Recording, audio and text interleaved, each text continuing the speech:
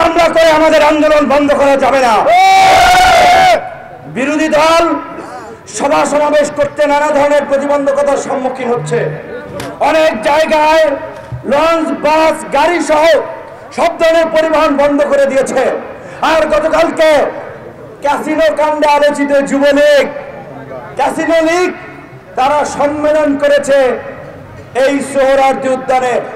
ঢাকার কুখ্যাত ক্যাসিনো বাসদেরকে দিয়ে লোক সমাগমের টার্গেট করিয়েছে।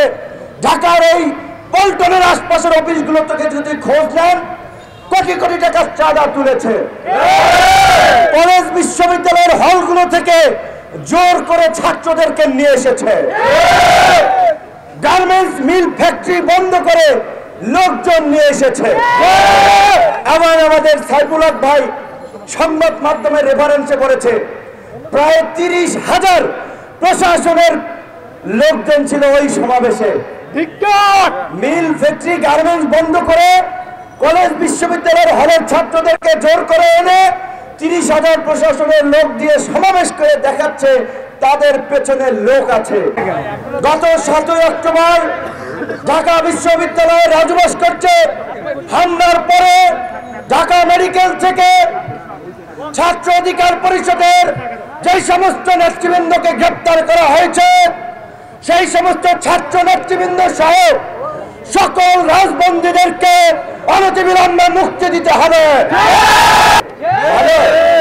শেখ হাসিনা তো বঙ্গবন্ধুর কন্যা। বঙ্গবন্ধু শেখ মুজিবুর রহমানের মতো একজন সংগ্রামী নেতা মহান নেতা মুক্তিযুদ্ধের অবিসংবাদিত নেতা তার কন্যা বাংলাদেশের একাধিকবারের প্রধানমন্ত্রী আওয়ামী লীগের মতো একটি দলের প্রধানমন্ত্রী। আপনার তো শোডাউন দেখিয়ে আপনার জনপ্রিয়তার প্রমাণ দিতে হবে না। আপনি একটা সুষ্ঠু নির্বাচন দিন। নির্বাচনে প্রমাণিত হবে কে বেশি জনপ্রিয়। কেন আপনি একটি সুষ্ঠু নির্বাচন দিতে ভয় পাচ্ছেন? কেন যেই তত্ত্বাবধায়ক সরকার ব্যবস্থা নিয়ে আপনারা সেই মাসের পর মাস আন্দোলন করেছেন অগ্নি সংযোগ করেছেন জনগণকে জিম্মি করেছেন সেই তত্ত্বাবধায়ক সরকার দিতে ভয় পাচ্ছেন। আপনার বাবার কথা মনে করে দিতে চাই। আপনার বাবা বলেছিলেন তিনি আমার কথা রাখলেন না তিনি রাখলেন সাহেবের কথা। প্রধানমন্ত্রী আঠারো সালের নির্বাচনের আগে জাতীয় নেতৃবৃন্দকে গণভবনে ডেকে নিয়ে সিসকে খাওয়াইছে চা খাওয়াইছে আর অনেক কিছু খাওয়াইছে। শরীর স্বাস্থ্যের খোঁজ খবর নেওয়া বলছে আমি বঙ্গবন্ধুর কন্যা আমার প্রতি আস্থা রাখেন। কিন্তু প্রধানমন্ত্রী জাতীয় নেতৃবৃন্দের সাথে দেয়া কথা রাখলেন না। তিনি পালন করেছেন দিল্লির প্রেসক্রিপশন। দিল্লি না ঢাকা। দিল্লির আগ্রাসন রুখে দাঁড়াও জনগণ। কথা স্পষ্ট। দিল্লির প্রেসক্রিপশনে এদেশে সরকার গঠিত হবে না। দিল্লির সরকার দিয়ে দেশ চলবে না। এদেশ চলবে এদেশের জনগণের সরকার দিয়ে। এদেশ চলবে এদেশের সরকার দিয়ে। দিল্লিকেও বলে দিতে চাই, আপনাদেরকে স্পষ্ট বক্তব্য দিতে হবে। আপনারা কি বাংলাদেশে ফাঁসিবাদ চান নাকি গণতন্ত্র চান? আপনারা কি দেশের জনগণের পক্ষে নাকি ফাঁসিবাদের পক্ষে? যদি আপনারা জনগণের সাথে সম্পর্ক রাখতে চান, বাংলাদেশের মানুষের সাথে সম্পর্ক রাখতে চান, বাংলাদেশের মানুষের জনপ্রিয় দাবি বাংলাদেশকে বাঁচাতে দেশের স্বাধীনতা সার্বভৌমত্ব রক্ষায় আজকের যে গণতান্ত্রিক সংগ্রাম চলছে, সেই সংগ্রামের পক্ষে আপনাদের স্পষ্ট সমর্থন দিতে হবে। আজকে সরকার বিরোধী দলের গণজাগরণ দেখে ভয় আতঙ্কে দিশেহারা হয়ে গেছে। এখন কথা বললে আমার মামলা হতে পারে যে প্রধানমন্ত্রীকে নিয়ে সমালোচনা হলে ডিজিটাল নিরাপত্তা আইনে মামলা। কিছুদিন আগেই প্রধানমন্ত্রী বললেন, দেশে দুর্ভিক্ষ হবে, আপনাদেরকে কুপি বাতি জ্বালাতে হবে রেড়ির তেল, ভেন্নার তেল ব্যবহার করতে হবে। আপনি তো বললেন, একাধিকবার বলেছেন। গতকালকে যুবলীগের সমাবেশে আবার বলেছে, বাংলাদেশে দুর্ভিক্ষ হবে না। এখন নয় কে বলছে, প্রধানমন্ত্রী না আমরা? একটা দেশের প্রধানমন্ত্রীর কথায় যদি এইভাবে লেস মানে আগা গোড়া মিল না থাকে, তাহলে কেমনে? একদিকে একদিকে সরকার, সরকারের মন্ত্রী বাহাদুররা, এমপি বাহাদুররা উন্নয়নের গালগপ্প বলছে শতভাগ বিদ্যুৎ উৎসব করল। অথচ গ্যাস বিদ্যুতের কারণে এখন মিল ফ্যাক্টরি বন্ধ হয়ে যাওয়ার উপক্রম। লক্ষ লক্ষ মানুষ চাকরিজীবী কর্মজীবী হওয়ার অপেক্ষায় কর্ম বেকার হওয়ার অপেক্ষায় রয়েছে। যে কোনো সময় নোটিশ দেওয়া হবে তাদের চাকরি নাই। প্রধানমন্ত্রী গতকালকে যুবলীগের সমাবেশে বলেছেন সবাইকে গ্রামে দিতে চলে চলে যেতে বলেছেন। কারণ এই শহরকে তারা বাসের অযোগ্য করে তুলেছেন। সরকার।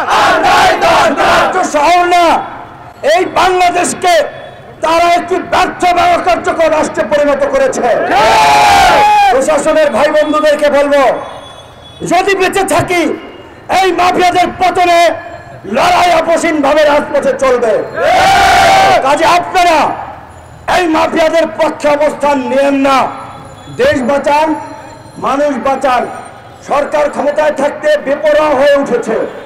তার পুরনো কার্ডে খেলা শুরু করেছে। জঙ্গিবাদের গল্প বানাচ্ছে। অগ্নি সংযোগের মিশন নিয়েছে।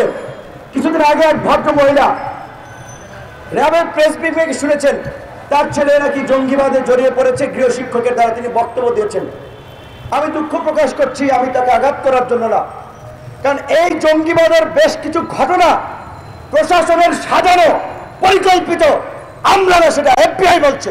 যুক্তরাষ্ট্র সহ আন্তর্জাতিক অনেক এজেন্সি বলছে যে সরকার ক্ষমতায় থাকার জন্য পশ্চিমাদেরকে বোঝানোর জন্য এই জঙ্গিবাদের তথাকথিত গল্প সরকার সাজিয়েছে। তো এই যে ভদ্র মহিলা কথা বললেন তার সন্তান মৃত্যুর পরে চলে গেছে। ফেসিয়াল এক্সপ্রেশন সেরকম আমার কাছে মনে হয়নি, আপনাদের কাছে মনে হতে পারে, আমার কাছে মনে হয়নি, আমার ব্যক্তিগত উপলব্ধি বলছি মনে হচ্ছে কেউ কেউ শিখানো। কারণ এজেন্সিগুলোর তো প্রতি জনগণের বিশ্বাস নাই, যেই দেশের আইন শৃঙ্খলা বাহিনী জনগণের ভ্যাট ট্যাক্সের পয়সায় পরিচালিত বাহিনী জনগণকে গুলি করে, জনগণকে হত্যা করে, জনগণকে মিথ্যা মামলা দেয়, তাদের উপরে তো জনগণের আস্থা থাকবে না কাজে জন্যই বলছি, আজকে রাষ্ট্রের প্রতিটি কাঠামো ভেঙে পড়েছে। ভাষণ কাজ করছে না। প্রধানমন্ত্রীর কথাও তার লোকজন শুনছে না। রাষ্ট্র চলছে কে কি বলছে বুঝতেছি না। প্রধানমন্ত্রীর জ্বালানি উপদেষ্টা কিছুদিন আগেই বলেছিলেন, তেল কেনার টাকা নাই, গ্যাস কেনার টাকা নাই, সুতরাং আপনারা কান্নাকাটি করলে কিছু হবে না। অথচ আজান হলে একজনের উত্তর দিয়ে দেন, নিয়ম একজনের উত্তর দিয়ে দেন। শেষ করব যদি সময় নাই। যে আজকে তারা একদিকে বলছে, রিজার্ভ আছে, এই আছে, সেই আছে। তো ব্যবসা লালবাতি চলছে কেন? কেন ব্যবসা এলসি হতে পারছে না? আপনারা একবার বলছেন দুর্ভিক্ষ হবে আবার বলছে দুর্ভিক্ষ হবে না। আপনাদের কথাই তো গরমে কাজে আপনাদেরকে স্পষ্টভাবে জানিয়ে দিতে চাই আপনারা অনতি বিলম্বে অন্তর্বর্তীকালীন সরকারের হাতে ক্ষমতা দিয়ে আপনারা পদত্যাগ করুন। রাজনৈতিক সংকট উত্তোলনে রাজনৈতিক নেতৃবৃন্দের সাথে আলোচনায় বসুন। আপনারা যদি আলোচনায় না বসেন আপনাদেরকে বাধ্য করা হবে আলোচনায় বসতে আপনারা যদি পদত্যাগ না করেন আপনাদেরকে পদত্যাগে বাধ্য করা হবে।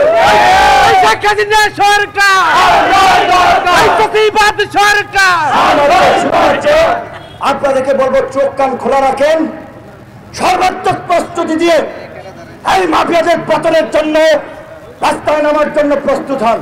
ঢাকা শহরে আগামী দুইটা মাস সবাইকে সাংবাদিক হতে হবে, গোয়েন্দা হতে হবে, আন্দোলনকারী তেজস্বী পুরুষ হতে হবে।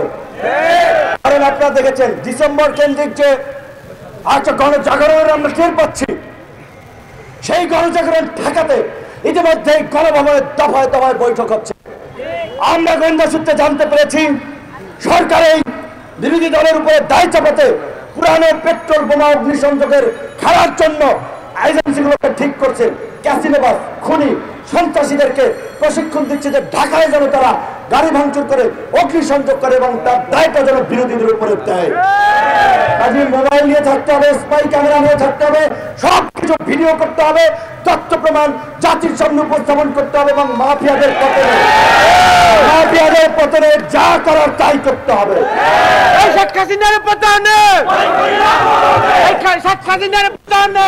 আমরা সর্বশেষ সেই কথা বলে শেষ করব।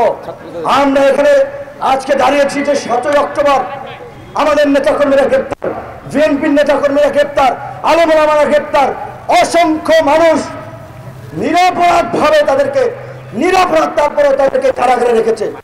সম্পূর্ণ মিথ্যা এবং ভিত্তিহীন মামলায় তাই বলছি সকল ছাত্র সহ সকল রাজবন্দীদের অনতিবিলম্বে নিঃশর্ত মুক্তি দিতে হবে। বিচার মামলা মিথ্যা মামলা প্রত্যাহার করতে হবে। আগামী চোদ্দ তারিখ এবং বিশ তারিখ ছাত্রদের জামিন শুনানি আছে। চোদ্দ এবং বিশ তারিখে ছাত্রদের জামিন না হলে শেখ হাসিনার পতনের দাবিতে কাপড়ের কাপড় পেতে রাস্তায় নামা হবে। বক্তব্য শেষ করছি। বিভিন্ন রাজনৈতিক দলের জাতীয় নেতৃবৃন্দ যারা বক্তব্য রেখেছেন, তাদেরকে অনেক ধন্যবাদ এবং কৃতজ্ঞতা জানাই। আমাদের এই প্রোগ্রামে ইতিমধ্যে উপস্থিত হয়েছেন মাহমুদুর রহমান মান্না ভাই, তিনি একটু বলে শেষ করবেন। ধন্যবাদ।